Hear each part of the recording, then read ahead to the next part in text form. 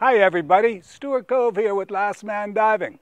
I thought you'd like to get a sneak peek at our new dive facility, scheduled to open soon here in Nassau, Bahamas. As I showed you in a previous vlog, we have one of the longest state-of-the-art docks anywhere, with room for all 15 boats.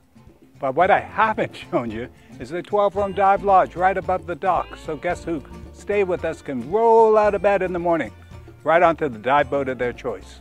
As you can see, all our roofs will be covered with solar panels for clean power. This will give Stuart Cove's one of the most eco-friendly carbon footprints of any dive operation in the industry. But what no one has yet to see is our new entrance, sure to be the most photographed spots in the Bahamas. Well, we're not going to show you the whole thing yet, but come on down to Stuart Cove's Dive Bahamas and be part of history in the making and experience some of the latest dive site discoveries. And be sure to take advantage of our Dive Now, Dive Free Later deal.